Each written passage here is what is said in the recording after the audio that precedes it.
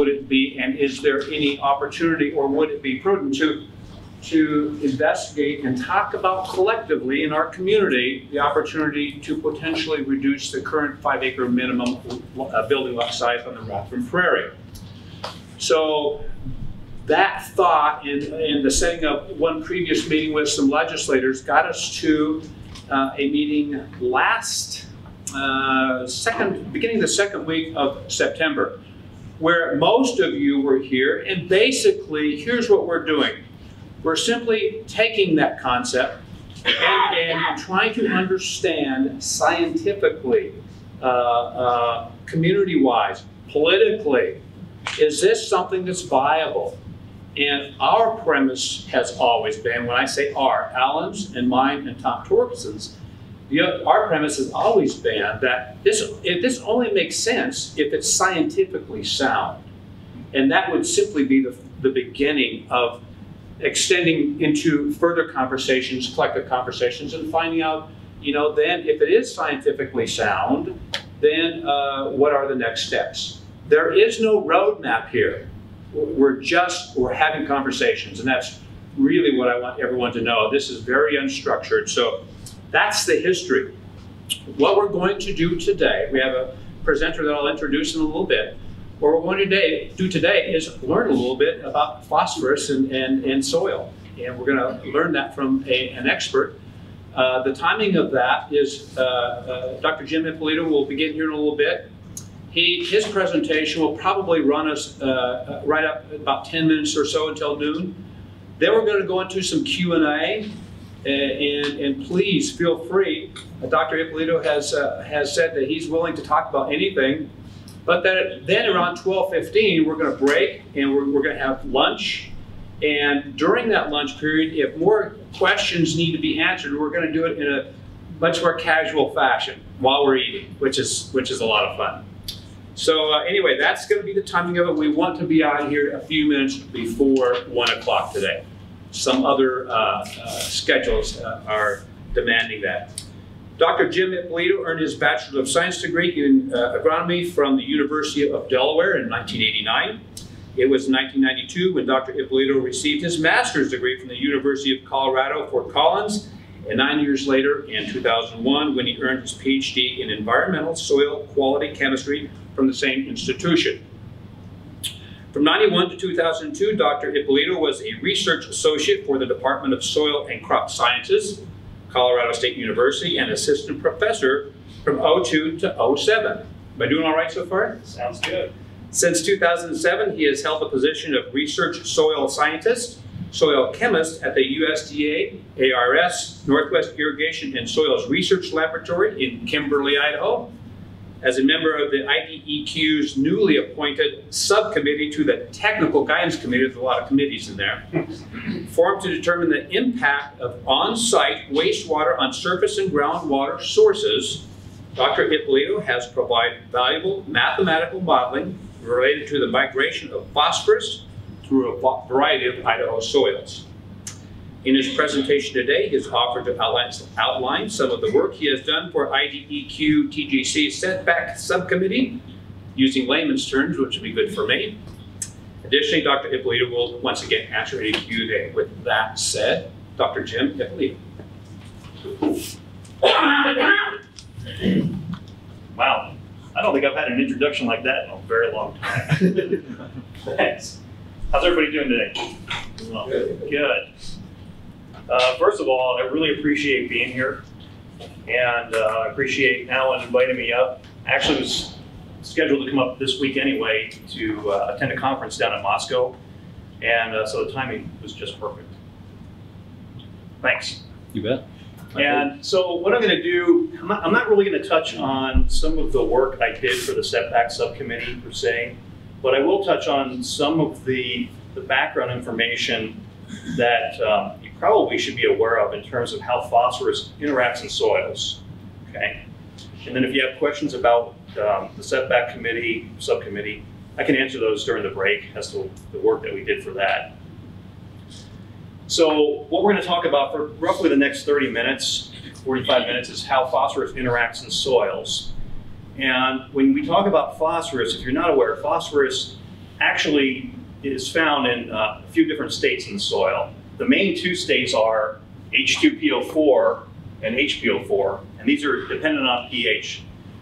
Above pH 7.2 roughly is when you start seeing these species, and below pH 7.2 in soils, you start seeing these species. And from what I understand from looking at soils maps of this area of, the, of Idaho, your, your soils tend to be below seven, roughly.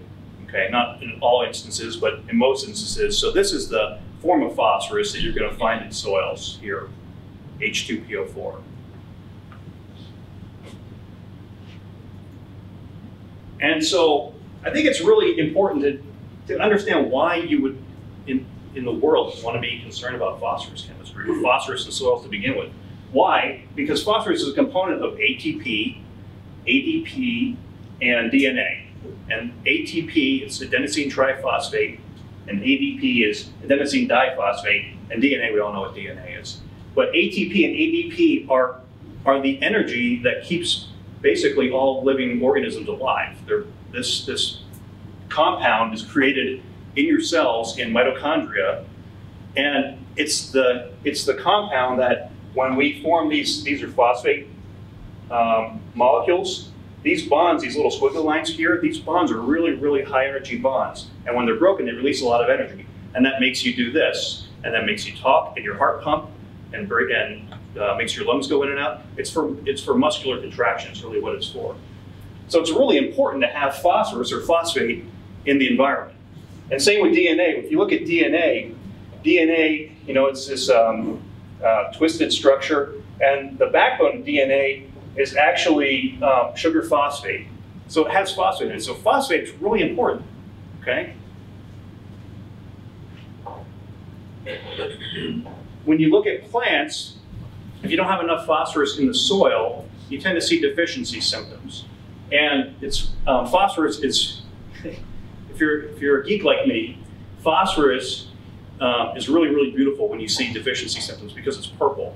You typically have stunted growth like you would in uh, most deficiency symptoms of other elements, but you see purplish color and it's on older leaves. So a good example here is corn, and you see purplish color in older leaves. And what that tells you is as the plant grows, the phosphorus is being transported from older leaves to newer leaves. And so the older leaves show the deficiency symptom.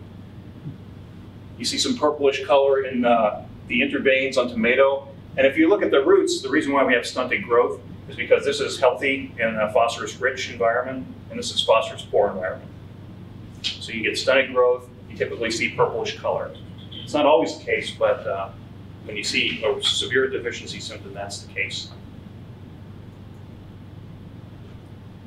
So I've been working with phosphorus for about um, almost 20 years, and I really like I like phosphorus because it's one of these elements that's uh, it's kind of quirky in the environment, and you'll see why in a few minutes. But my approach in phosphorus and phosphorus in the environment is in moderation. That's what I would suggest to most people. So in soils, you want to apply based on the needs of the crop. Okay, so you can overcome those deficiency symptoms. You don't put too much out where you have excess where it can move off site or be transported downward. And basically what you don't want to do is oversaturate soils or the mineral phases in soils that can absorb phosphorus. And just like anything, too much, too much phosphorus may not be good, and why. And this may be kind of extreme, but this is what you would get. This is waterway eutrophication at its extreme. And if I were a fish, I sure wouldn't want to live in that environment, okay? Um, is everybody um, familiar with the term eutrophication? Yeah, okay.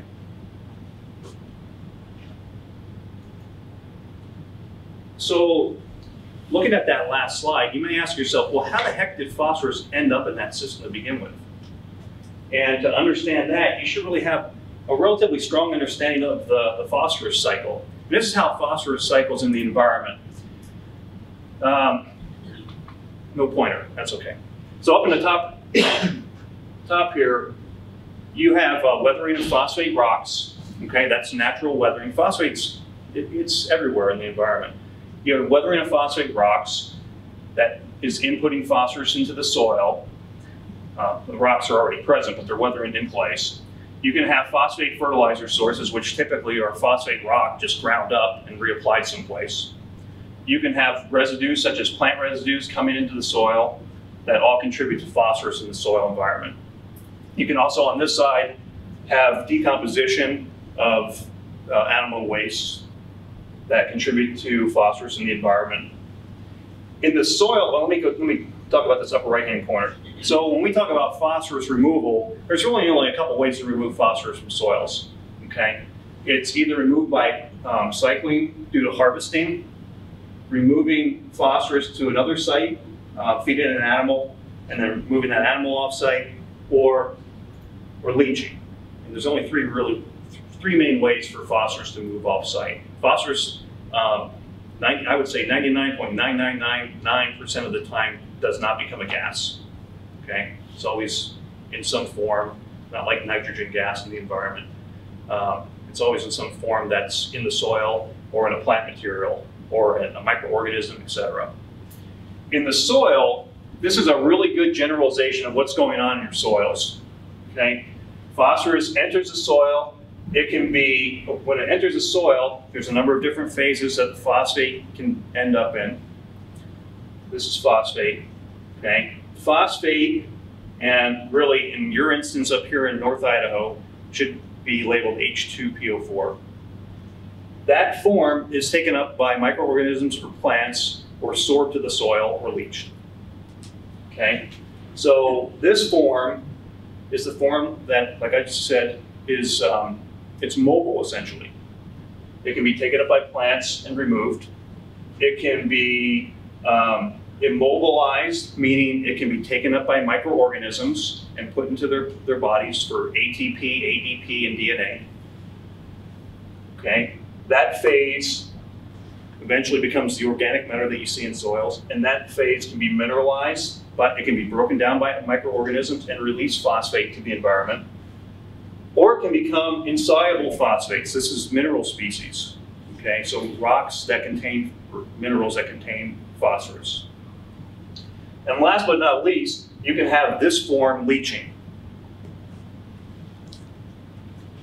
And when we talk about leaching, and I'm, I'm assuming you're pretty concerned about this up here, how do we prevent leaching? Well, one is to remove the plants or and or animals that are fed those plants. And I can tell you from my experience that you don't remove a whole lot of phosphorus by harvesting plants compared to how much phosphorus is in the soil.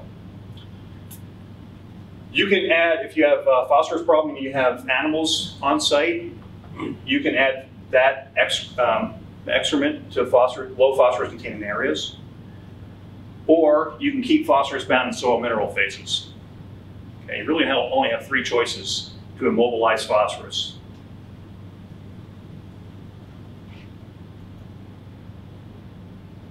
Okay, so with that said, that's kind of a, a background. Now I want to talk about Phosphorus 101. This is what we would teach um, students when I was at the university, teach students in our introductory soil science course and uh, introductory soil chemistry course. And so when we look at phosphorus, if you, if you didn't do anything to a soil, you know, you didn't add any uh, you know, liquid effluent, etc. If you just looked at soils in general, total phosphorus in soils is roughly 200 to 500 parts per million, milligrams per kilogram. And the average across many sites in the US, not the world, is about 600 parts per million. And if you broke that down into organic and inorganic phases, you have about 25 to 50% organic and about 50 to 75% inorganic. Okay, most of the most of the phosphorus you find in soils is inorganic. Okay, it's not bound in uh, plant tissue, roots, microorganisms, earthworms, etc. Okay, it's in a mineral phase. Most of it is. And I would say that of the total present that you find in a soil, so if you had a total soil test value, I would say about 1% is mobile, give or take. And that's just based on my experience, and that's that's kind of a, a broad brushstroke number. About 1% of the total is available or mobile. Okay, so if you were looking at a soil that hadn't been affected by human uh, activity, if you had 600 parts per million, about 1% or 6 parts per million is available for uptake or leaching. Is this was also biologically available? That would be biologically available. Okay. Would that be primarily in the form of orthophosphates? That would be orthophosphate, yeah.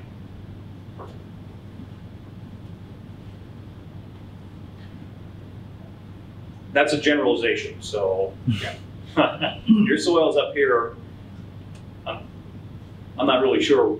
I would assume that that number may be lower than six part per million, you know, on average. So um, just based on some of the, the information I've seen from NRCS on uh, their soil survey report,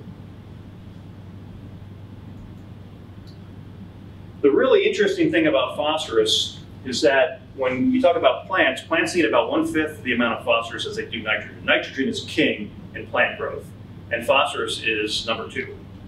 And so when we apply, what I mean, I see a question back there. there. Confusing, confusing look. What I mean is from an agricultural standpoint, you typically base fertilizer needs based on the crop nitrogen requirement. Not always the case, but more often than not when you do that and you use something like, say, manure, you typically over apply phosphorus because the plant doesn't need as much, but the manure has quite a bit of phosphorus in it, more than what's necessary for plant growth. So this is some, you know, it's a conundrum that you have when you deal with um, organic waste materials. Is in terms of plant growth, you typically apply based on the nitrogen needs, but you over apply phosphorus, and then you have phosphorus issues in the environment. I've seen it uh, for the last 20 years of my work. It's probably been going on, obviously been going on a lot longer than that. So what we're going to do is we're going to, let me take this back here.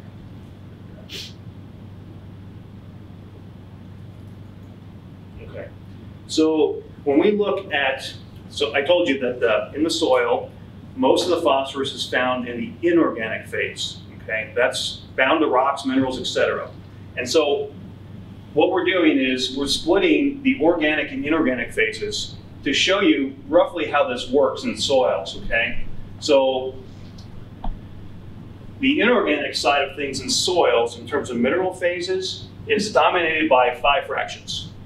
Okay, you can have the soluble and loosely bound. Okay, this is biologically active, and that um, that can obviously be uh, moved or transported or taken up by the organic side of things.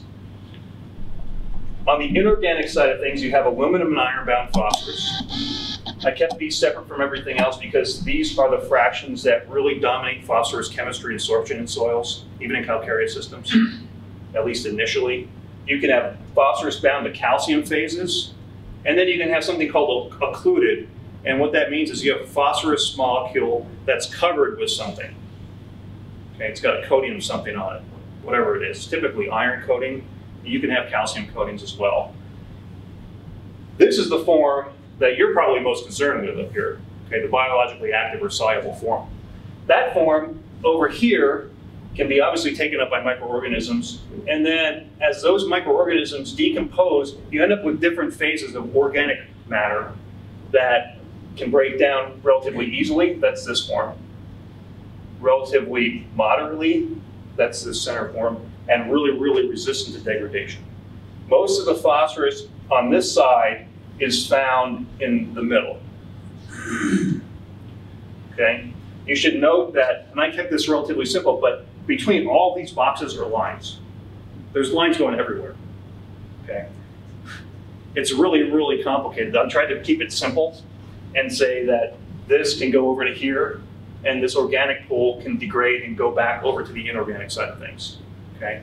But in reality, there's lines going everywhere. So roughly what percentage of the inorganic is soluble and loosely bound? On the inorganic side of things, I would say that um, probably 1% or less is here in this box. In soils, um, in your neck of the woods, I would almost guess that 99%, if it's in an inorganic phase, it's over here. You don't have a whole lot of calcium phosphates up north. I don't think your soils are calcareous. I've never seen any calcareous soils up north. So you can almost disregard this, and they're all scrunched over here. And these are relatively resistant to degradation, which is a good thing. If you're, if you're worried about phosphorus leaching.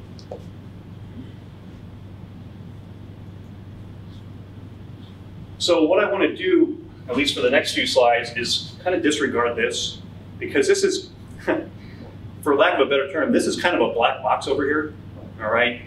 Um, I've studied this for about 16 years, and every system I study is a little bit different. Whereas this one, it's somewhat predictable. So we're going to focus on this. And in fact, in your situation, and for what we've been doing for um, DEQ, we've been focusing primarily on this side as well. It's easy to model. So this is how phosphorus works in soils. If you have orthophosphate or biologically active phosphorus, how does it become fixed? Well, if you know anything about soils, soils typically, and not always, but are more often than not, are negatively charged okay, for a number of different reasons. But they're negatively charged, so they attract positives. Well, if you remember from that first slide, H2PO4 is negative. So how does that become bound to soil? Huh. It's like I always told the students that I worked with, it's like two magnets, right? You put a negative and negative and they repel one another. So how does it become bound? Well, there's something called loosely bound or loosely held, and that's when you have this H2PO4 molecule and it's bound or bridged by a cation, like calcium, for instance. Calcium's plus two, or you could put magnesium in here, it has a plus two charge, and the positive is attracted to the negative, and the positive is attracted to the negative. And this is called loosely held. And it's called it's called loosely held because it's it's easily broken. These bonds are easily broken. So if a plant needs calcium, it can easily take up this calcium if there's not a whole lot of calcium in the soil solution. And then this is free to go. So it's loosely held. Okay, in comparison, the next term is tightly held. And this is what happens along the edges of, uh, say, clay particles or iron oxides or aluminum oxides in soils. You have a soil colloid, and you have, this is a poor representation, but along the edge of that clay particle or aluminum oxide, you have a broken edge, and you have hydroxide sticking out along the edge. You have a negative charge, and this is negative, so you would think they both repel each other. Okay, so interesting. How the heck does this work? And this is how this works. Well, sometimes this phosphate or H2PO4 molecule fits perfectly within you know, this pocket, if you want to call it that. And so it actually becomes part of the colloid structure, and it kicks OH out. Okay, it kicks the hydroxide out. And so it's actually part of the structure. It's bound to this, this mineral. And when that happens, it's really tightly held. It's hard for H2PO4 to be kicked out of that spot or that, that pocket. Okay?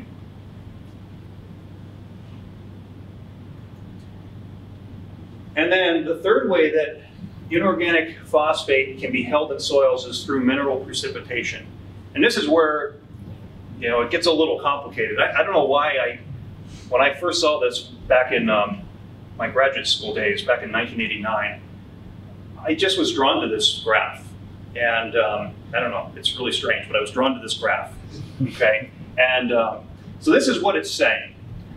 You've got pH, this is soil pH along the x-axis.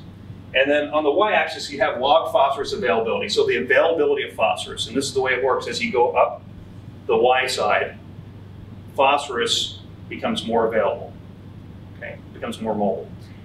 The, on the graph, the lines that are higher are relatively soluble minerals, and as you come down the graph, the lines are relatively insoluble. Okay? If you're um, from an if you're a producer in agriculture, from an agricultural standpoint, the reason why people lime their soils back east, do you lime soils up here? No. Okay. So back east, like uh, east of the Mississippi, a lot of people lime their soils. In fact, in the southeastern U.S., they lime their soils quite a bit. And the reason why they lime their soils is to bring the pH up. And they typically shoot for a pH of about six, six and a half. And they do that because see how these lines come up right around pH six, six and a half? They, they come up to a point or an intersection. And what that is, is the, the maximum availability of phosphorus in their soils. So they can increase plant growth, productivity, etc. That's why they lime. In your soils, you're typically below seven, probably what, six two, high fives, something like that. So you're in this range. You're, um, you don't have any calcium phosphates, which are all over here on the right-hand side of the screen. So your soils, if you have any um, insoluble precipitates, you're probably dominated by, this is aluminum phosphate, the mineral is called variscite, and, or iron phosphate, and that's called strengite. If you were to add a phosphorus fertilizer in your system, you probably would add something like this mineral here. It's called monocalcium phosphate. And if you added that to your soils, eventually it would break down because it's relatively soluble. And it would typically form one of these two mineral species. That's how this works. Okay, you you have coarse-grained, non-calcareous soils up here. So you're somewhere in between, unfortunately. In fact, you're really coarse up here, so you may be on the low end.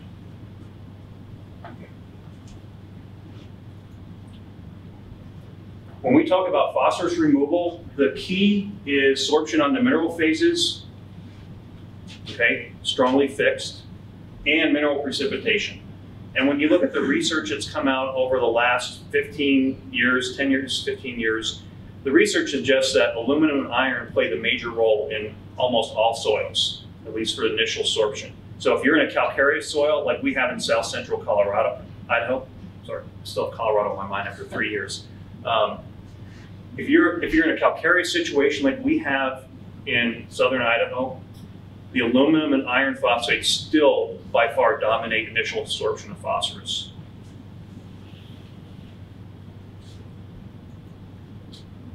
So when we talk about absorption of phosphorus in soils, you should know that there's two ways to absorb phosphorus in soils. Well, there's, there's two means of absorption in soils. There's fast absorption and then there's slow absorption. And this is kind of a hypothetical graph.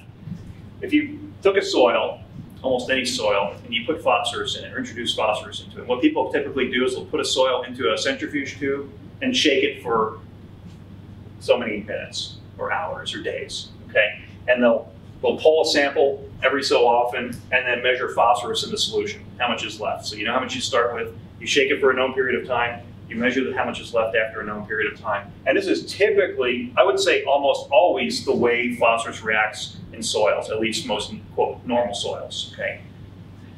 You have a fast phase, so phosphorus is sorbed really, really fast onto something in the soil. And then you have a really, really slow phase or a lag phase. And if you add enough phosphorus, this typically reaches a maximum. Okay, so if you add enough phosphorus, you can see this curve eventually would flatten off. I mean, a soil can only absorb so much phosphorus, right? Makes sense. So, with that said, when you look at the mineral phases that initially dominate sorption, they're typically iron or aluminum. And so let's look at two iron species, okay? If in your soil, I would just guess that you would have these in your system. A mineral called ferrihydrite, it's iron hydroxide, or hematite, which is Fe2O3, okay?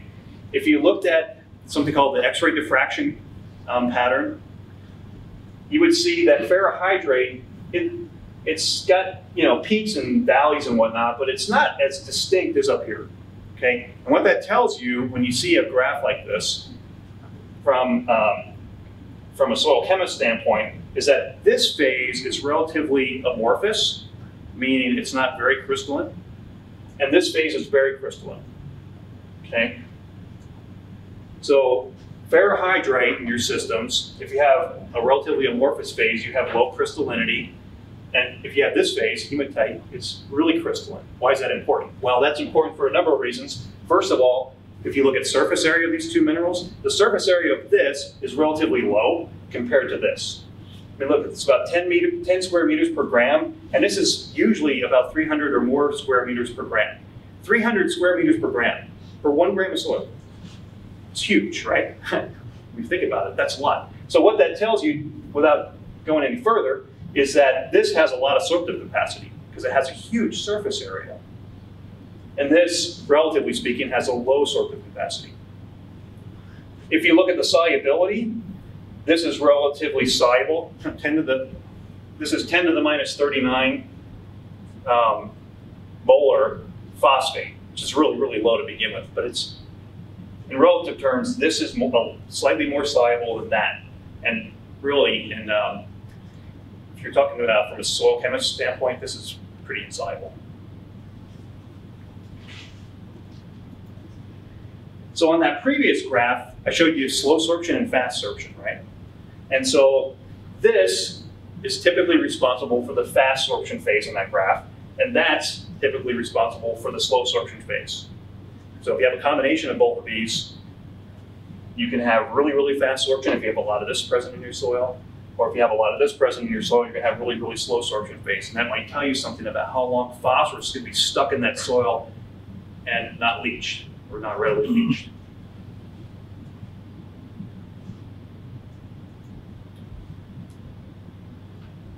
So, moving on, um, you should know something about iron chemistry because iron and aluminum are really the key players here. But iron, let's just talk about iron chemistry.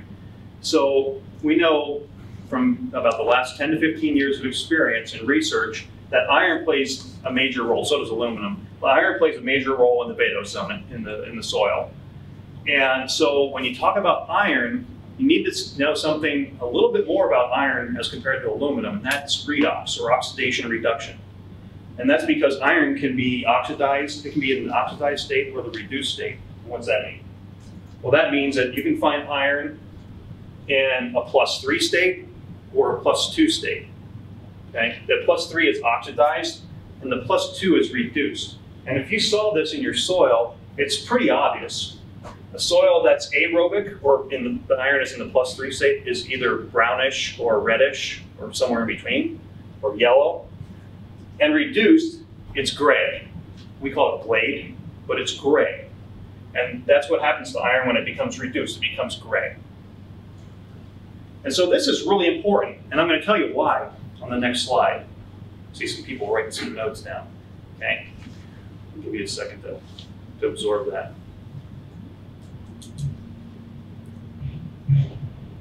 This is being taped too, right, Alan? So people can look at this again if they need to. Yes, it is. Okay. Right copies.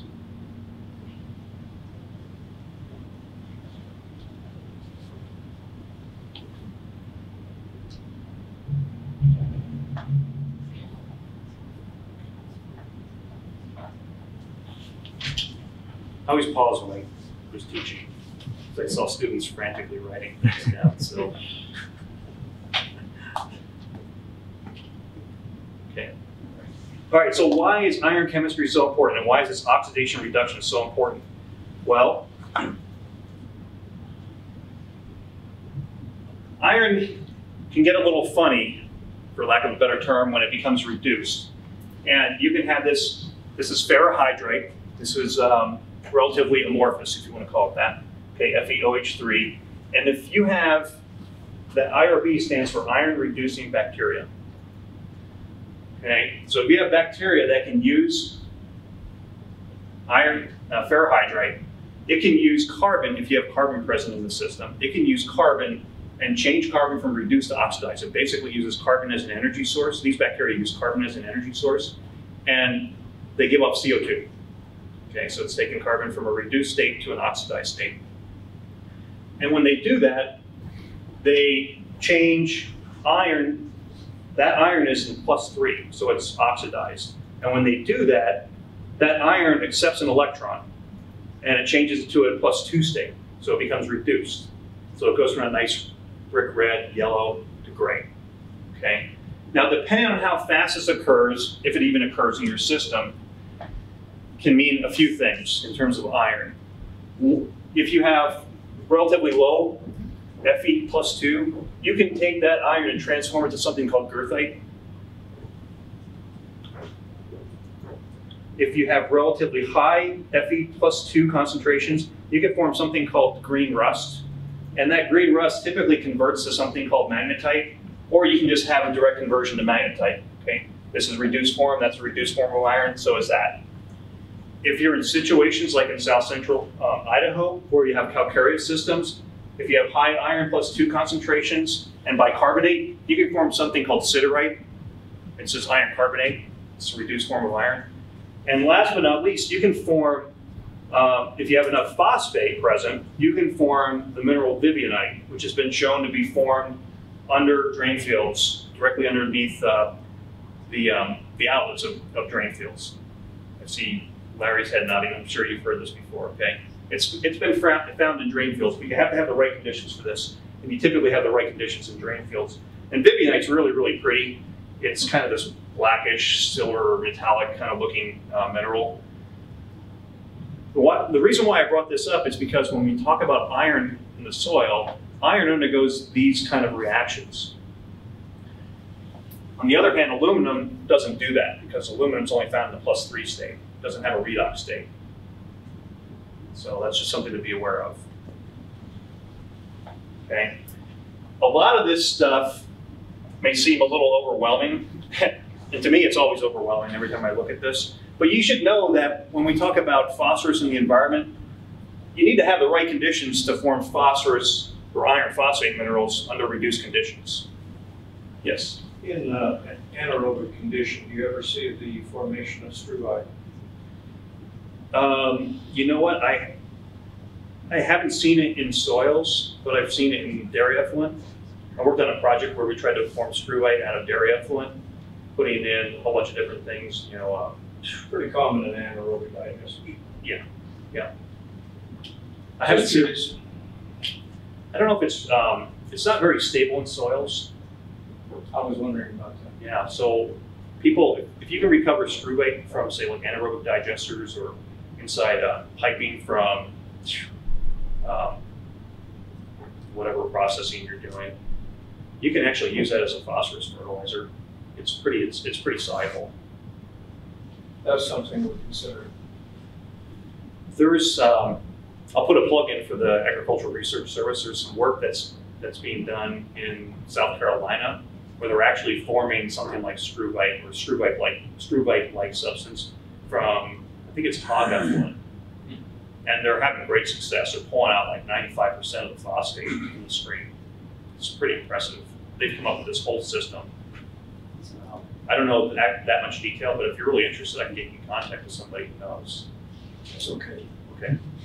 Got some national people working on it. There you go. All right. So let's, I have one slide on aluminum chemistry, and this is a really, really interesting project that I worked on um, right before I came here to Idaho. And to give you some background on this project, this was a site that I worked on for about uh, 15 years where we applied biosolids, sewage sludge, surface applied to a soil, a rangeland soil.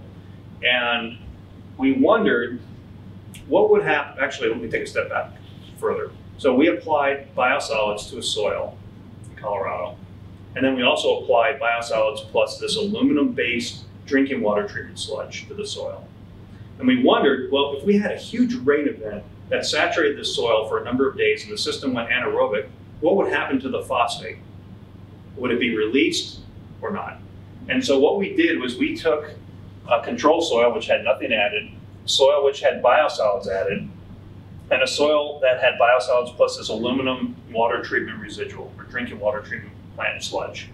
We, had, we took all those soils, this was replicated four times, we took those soils and we put them in an anaerobic condition. It's called an anaerobic glove bag. So we, we could drop the redox way down. And over time, we measured the amount of phosphate in solution. Okay, so we had these soils in a liquid, and we put this whole thing in the glove box, dropped the redox, and measured phosphate over time. And this is really interesting. So if you look at the control soil, really nothing's happening. You get a little bit of phosphate coming off. The soil plus the biosolids, I should mention, this is kind of important, but the biosolids, when you have uh, at least some of these digesters, they're uh, in Colorado, they use anaerobic digestion. I don't know what you use up here, but they use anaerobic digestion, and to offset H2S uh, emissions in their digester, they add iron. So this thing's loaded with iron, and it's got iron phosphate in it. And so you have a redox condition, and boom, the phosphate goes way up. Okay? So this is a good example of what could happen in situations where you don't have vivianite being produced, the iron phosphate in the reduced form. Okay? We added water treatment residuals that had a lot of aluminum in, uh, in that material, and lo and behold, you didn't see a whole lot of phosphorus coming off. So the point I'm trying to drive home here is that iron chemistry can really affect your system. And if you have some aluminum, aluminum's kind of a even keel in your system. It's kind of interesting. Okay, I have a few more slides. And I just want to briefly talk about some of the information that you could find out there in terms of soils if you're not familiar with this. And one of the classics is the NRCS, used to be called the Soil Conservation Service, but they're soil surveys. And it, have you ever seen these? Have you ever seen them in color? Yeah, the, the colored ones are fantastic. They're from the early 1900s and, and they're really, really neat to look at. But you can find these um, occasionally in libraries if you're lucky. Um, they're really, really hard to find. This is the classic example of trying to figure out, you know, what kind of soil you're working with and what kind of conditions are in within that soil. This is a more modern approach. This is the web soil survey. It's basically the soil survey that you saw on the last slide, but digitized. And it's upgraded to contain a heck of a lot more information than you typically would find in the, the hard copy. It's, has anybody ever used this? You've used it, yeah? What do you think? Pretty nice. It's pretty nice. The difficulty is, is it's normally only about five feet of depth. So for subsurface sewage disposal, it has some limitations because you're looking at a receiving soil that may be deeper than what is normally categorized. Yeah, that's the unfortunate part about pulling data from NRCS is that they typically only go to five feet. So if you want to try to find more information with depth, you'll have to go someplace else, like, uh, you know, maybe the University of Idaho. They might have some information, or I don't know if DEQ has information with depth or somebody, but typically not. It's hard to find. The one thing that I don't like about this is that you have to zoom in, you have to really know where you're going. You have to zoom in relatively close. I think it's 10,000 acres. And then to, to go around the little tabs and find the information you're really looking for, it can be somewhat cumbersome. So there's a really, really cool app for Google Earth. And I just found out about this within the last two months. Has anybody seen this?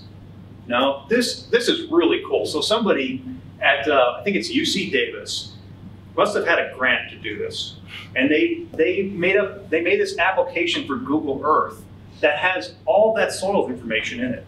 So if you have Google Earth, like everybody has Google Earth, right? You can have it on your mobile phone, you can have it on your computer, you can have it anywhere, and you can get soils information instantaneously. It's really, really cool. I'm a soils person, so this is really cool. and so when I loaded this, you know, when you zoom in, you get all these dots all over the place, and the dots represent different soil types. They're called soil series. And you can click on one. So this is Post Falls, and I clicked on one that's really dominant for this area. It's called the Garrison Gravelly Silt Loam. And it's got 0 to 7% slopes, and this is what the profile looks down to 150 centimeters. And if, and I, for some reason, I couldn't get screen capture because I have two monitors at my desk, and so it captures both monitors, which is beyond me, but does that. So I couldn't show you more. But if you pull this up, if you pull this up, you can click on the name and it'll pull up all this information that you typically find in the web soil survey. And it's, it's literally at your fingertips. And it's relatively quick, so you don't have to, um, you still have to do a little bit of searching, but it's not as uh, painful as the NRCS web soil survey. So if you, if you want to get this information, you need to go to that website and then on the somewhere on the bottom left, you'll select Google Earth interface. And it's, it loads almost instantaneously. It's amazing that you know you can load all that information almost instantaneously to your computer. It's really fun to work with too. It's, it's incredible. Okay, so before we take any questions, if you haven't seen this document, it's called Phosphorus Geochemistry and Septic Tank Soil Absorption Systems and Groundwater. Is everybody, anybody not familiar with that document? This is a this is a really really good document. I can't remember how many pages it is. It's but it's a pretty big document. It's like three megs. It's free, but what Lombardo Associates has put together is kind of what I just described. And then they also have case write-ups for different locations within the U.S. and Canada, I believe. And it's a really really great website or great information to um, to download and take a look, especially for the kind of the issues um, you're dealing with up here in the north. And with that, I don't know if we have time for any more questions, or you just want to keep this informal, or it's up to you. But I appreciate your attention. So that, uh, you mentioned the Colorado study you did, was that, was that through Colorado State or was that through like Parker Ag and the guys do all the, uh, land application? That was uh, just through Colorado State. Actually, it was with the city of Fort Collins, Okay. in Colorado State. And I've, I've worked with Parker Ag before, Mike Sharp, and you know those guys? Yeah. They, I was talking to um, Alan before, and I I worked on a project down in uh, Lamar, Colorado, south, southeastern Colorado. And they applied uh, sewage sludge from New York City to how many hundreds of thousands? Tens of thousands, hundreds of thousands of acres. A lot. Yeah, they've got a lot. I may interject real quickly here, uh, let's just keep going, but I think that what, the reason that Dr. Ippolito is here is in our meeting of two months ago, approximately two months ago, we all agreed that phosphorus is, is the primary area of concern. And so uh, I want to keep Dr. Ippolito's presentation in context in that in a much bigger picture, what we're trying to do, once again, is understand whether this is a viable, opportunity.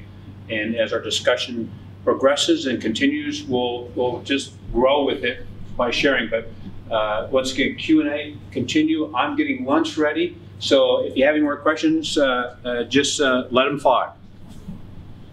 So how do we use, I mean, I've read through and, and some of the materials that, uh, Larry and, uh, Alan provided, uh, some scenarios that you gave, um, breakout duration on, but the primary component that seemed to be the variable was the, the soil chemistry, which was primarily what iron and aluminum were available. How would we go about testing to be able to determine the soils here and the receiving as to where, where it fits in that range, because it looks like it's substantial difference based on that chemistry. Yeah, that's right. So uh, I don't know of any testing labs in Idaho that would do that test. It's not, the test is called ammonium oxalate extraction, and it's uh, not a typical test. But the testing, I know the testing lab at uh, the soil plant and water testing lab at Colorado State University will do that test, and it's about twenty dollars. I'm not promoting them, but uh, there's just to kind of give you a ballpark, if you can find another testing lab that would do that extraction and, and uh, analysis. So we look here, we look locally, and the, the local labs don't test, they'll test for total iron and, and aluminum, but it- that's not what, it has to be the amorphous to, to fit into this model. I would suggest doing the amorphous extraction, yeah. Is there, and there isn't a direct relationship between the two? It's not a good ca, good gauge between total and, because that seems to be a fairly easy test we can run here locally with the, the. The, the oxalate extraction test is really, really easy. It's just people just don't typically do it. You, you know, it's run in the dark, it's a two-hour extraction in the dark. It, it's really simple. I don't know why people don't do it more often. I don't know if there's a relationship. I've never seen a, a true relationship between amorphous and total. It seems like it's all over the board. That's what I've what, read. that's what the lab said here, that there wasn't a good, wasn't a good people have tried to correlate total to phosphorus um, to phosphorus sorption, and doesn't seem like it fits very well. Or um, what fits really well is amorphous phase or some kind of uh, soil extraction. Like up here, you probably do what, a Bray one or a Mehlich three extraction. I don't know if you've ever looked at phosphorus um, chemistry in terms of an agricultural standpoint, but you would probably do one of those two extractions. We can talk about that later if you want. I can give you some more information. Bottom line is I would suggest amorphous aluminum and iron. So to prevent phosphorus moving through the environment and getting into groundwater or surface water, what would be the ideal soil characterization that would help find, find that phosphorus?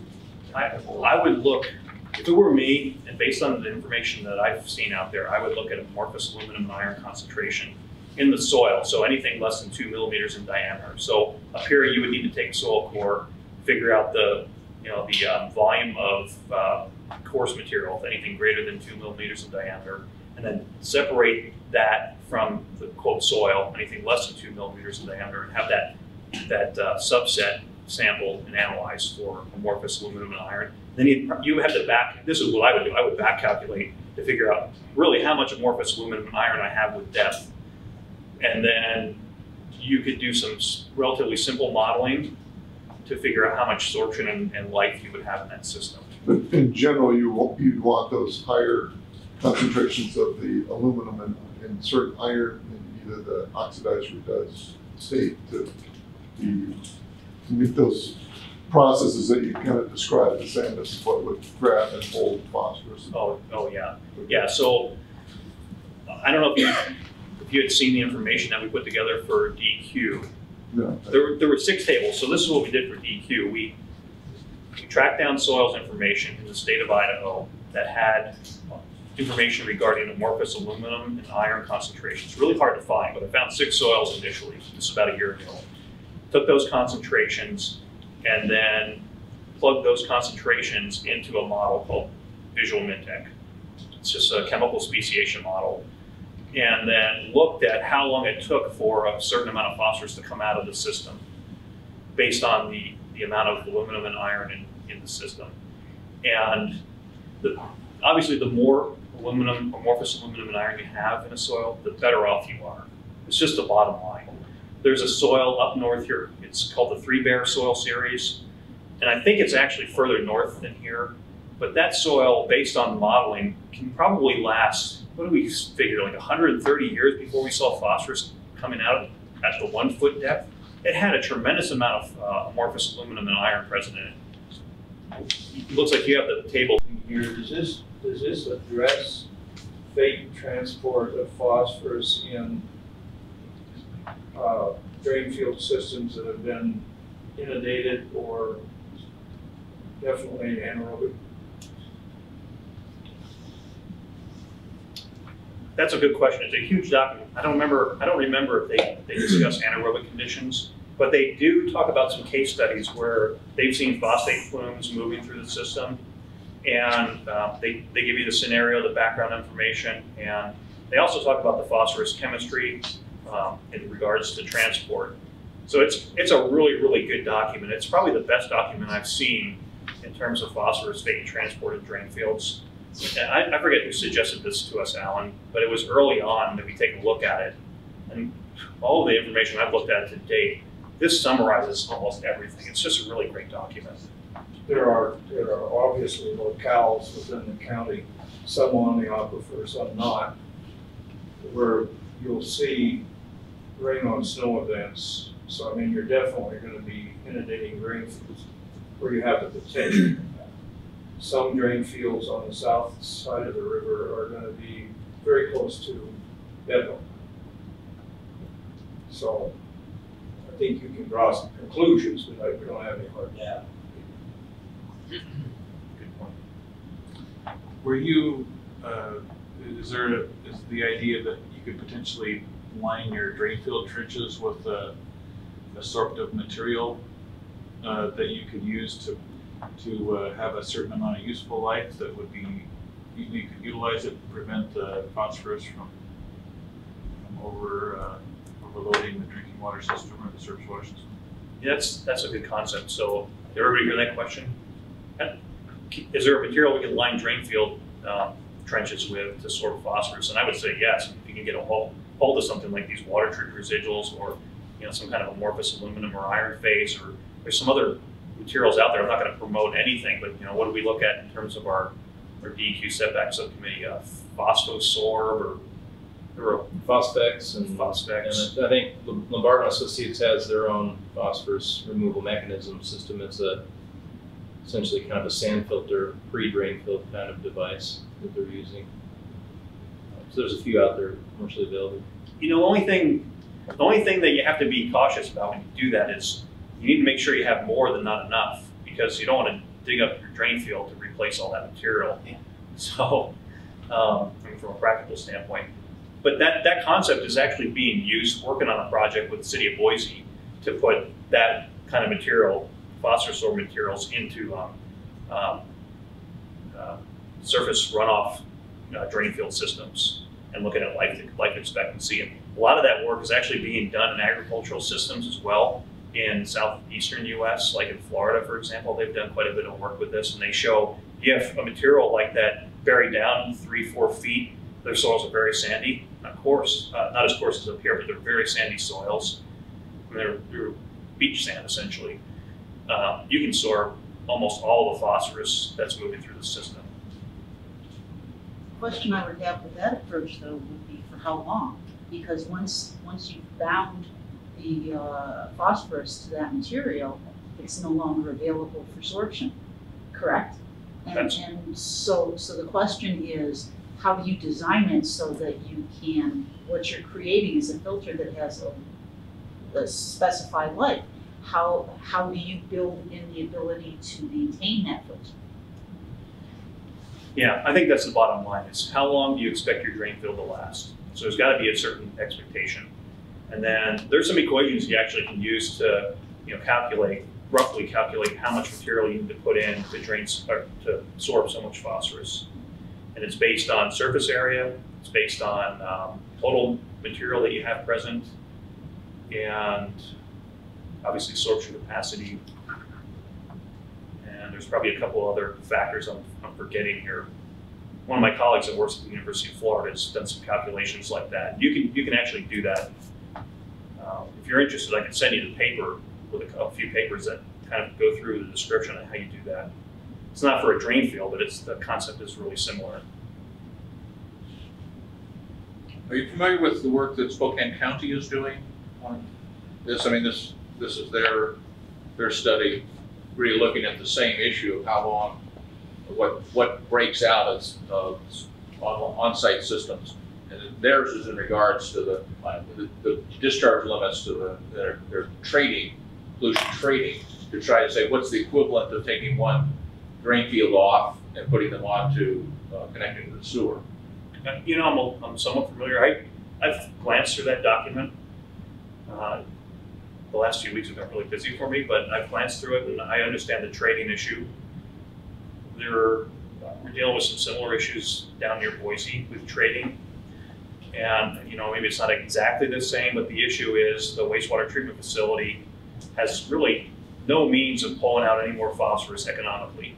So what they're doing is trading as well. And they bought some land and they're pulling, they're, this is the, the scenario, they want to pull out phosphorus from agricultural runoff. So they're trading phosphorus for phosphorus.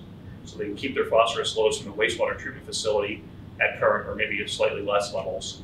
And they're removing phosphorus from some other source over here that eventually dumps into the, the Boise River and into the Snake. So concept is the same, um, I'm assuming it's trading. I, I don't know if it's a good or bad idea, you know, some of the, the issues and ideas that Boise has. I, I kind of like what they're doing in terms of trying to, uh, you know, remediate some of these issues, but I'm not going to say it's good or bad. Going, at the front part of your slide, you were talking about, you know, the different states that phosphorus can exist in, organic, inorganic. And then you talked about the soils and how the soils interact. Is there, is there a benefit to know more detail about the nature of the phosphorus and, and how its state is? And then in addition to, you know, the soil side of it? That's a good question. Um, you know, from a, from a basic standpoint, it's interesting. I think from a practical standpoint, you probably don't need to go that far. You know, as long as you have a good handle on how much amorphous spaces you have present, that's really the, the bottom line. And all the, not all, a lot of the papers that have come out in research over the last 10 years or so have really focused on amorphous spaces. I mean, they tried to do all sorts of things like total iron and aluminum content, um, not so much on the organic side of things, but then uh, availability indices, you know, like soil extraction um, tests that you typically would do if you were a producer, you know, crop producer. And they, they seem to work, but amorphous aluminum and iron is really the key. That's the key. It's kind of fun to look at the cycling. You know, I've had, I had a grad student look at that, that one graph that had the inorganic and the organic. That was based on two years of work from one of my graduate students a while back.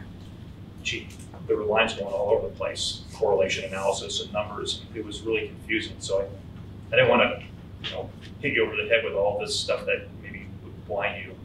Right, well, I think we're talking about the bigger picture of the, the fate of phosphorus through the Spokane River and the Rathdrum Prairie Aquifer. If you talk to limnologists, they don't care whether phosphorus is inorganic or organic. At some point, that's gonna be available for biologic uptake. Some point in its lifespan, whether you're talking, you know, in terms of days or minutes versus months or years. And so, you know, there's the perspective of what time frame you're looking at in that, in that fate of the phosphorus the. Yeah, that's a good point. So, uh, I'll just say that based on s- of some of my experience and some of my colleagues' experience, if you look at phosphate bound to amorphous, uh, at least aluminum phases and iron phases, there's other phases out there, but if you look at those two phases, they're really, really recalcitrant, meaning that, you know, in one in one study, we looked at, um, that study that I showed you, the, the graph with the biosolids and the larger residuals, that study, you, if you put phosphorus on that system in the form of biosolids, that phosphorus is bound to the aluminum phase very strongly, even after 13 years of just sitting there. It's, it hasn't gone anywhere. In fact, sor- absorption has increased onto that aluminum, that amorphous aluminum phase. I have some other colleagues that work, work out of Florida, and they've shown the same thing with iron, uh, amorphous iron phases. Um, they did a seven and a half year study, and they put this amorphous iron phase in the soil. They bound a heck of a lot of phosphorus, and it didn't come off that, that substance. So that, that's why I keep, you know, driving the point home that the amorphous aluminum and iron phases are really, really key to sorbing phosphorus. And, you know, if you want to call it short term, you know, 13 years is, I think, a long term study for research, but that's still short term. Really, if you're talking about phosphorus movement into the Spokane River, I don't know what's going to happen in 20 years. I would assume it's uh, still be bound to that phase, but I can't tell you that with any certainty.